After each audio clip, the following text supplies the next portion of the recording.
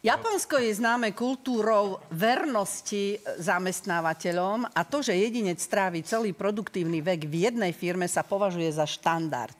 Podanie výpovede sa preto spája so spoločenskou stigmou a tí, čo sa odvážili zmeniť prácu, sú považovaní za zbabelcov a hamba dopadne aj na ich rodiny. Vystrašení zamestnanci si preto v Japonsku najímajú výpoveďových e, agentov, tzv. Taishoku Daiko.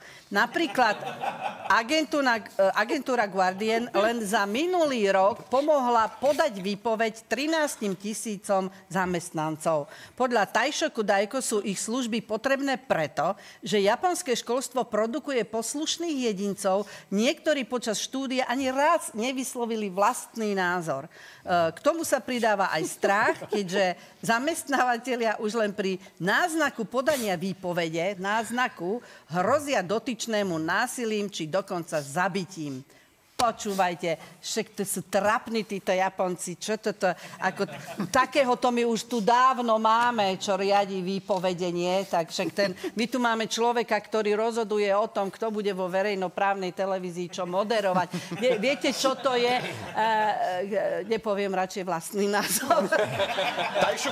Lebo, lebo, lebo, chcem, lebo, lebo chcem proste moderovať ešte chvíľu túto reláciu, ale všetkých kolegov, prosím vás pekne, dávajte si pozor, Dajšoku uh, Dajko je správne u nás Dajšoku Danko. Dávajte si na to pozor.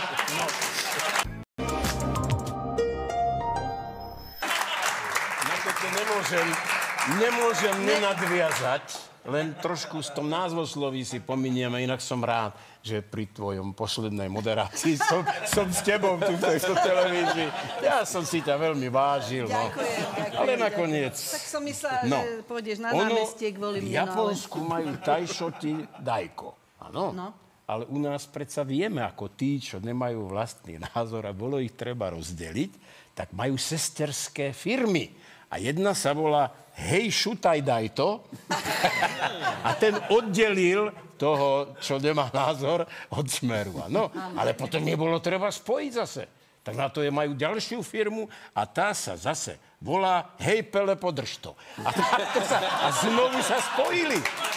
Takže nič nového v Japonsku. Nič. No súhlasím. Nič, to my dávno máme vyriešené. Mož, možno aj ten náš pán premiér, tým, že stále už je štvrtýkrát premiér, že nevie odísť z tej práce. Či on není potajme Japonec?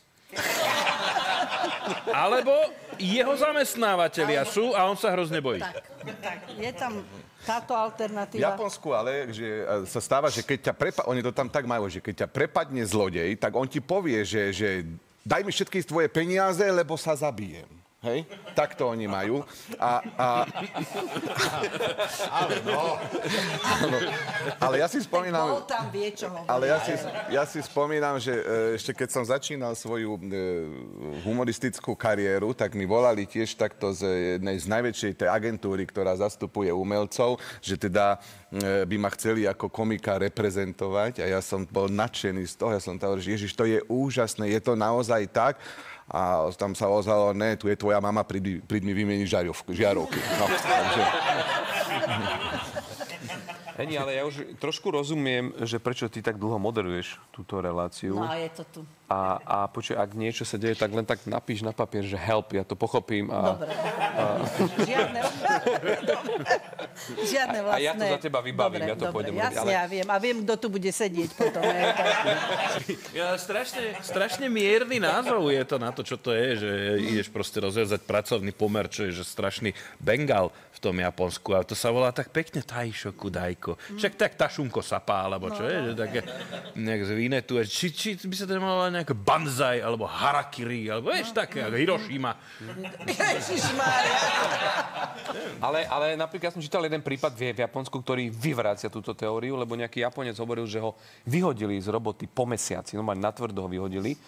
A sa pýtali, že prečo. A on vravel, neviem, ja, lebo som mal pocit, že som úspešný. On totiž to robil uh, toho chlapíka, čo uh, je na tej linke pomoci Pomoc, pre uh, samovrahov a vravel, ja som veľmi úspešný, mne už nikto potom nikdy späť nezavolal. Čiže...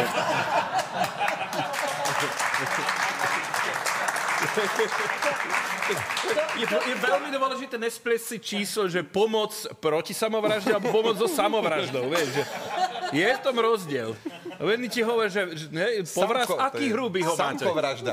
Samkovražda. Vražda. Ale Tomáš, keď si, že o, po, po, kým si to povedal, už by bol dávno mŕtvý, Áno, keby áno. si to ty Ja robil. to vieš. robiť. Ty by si to nemohol robiť. Ste ešte tam? Halo? Skočil.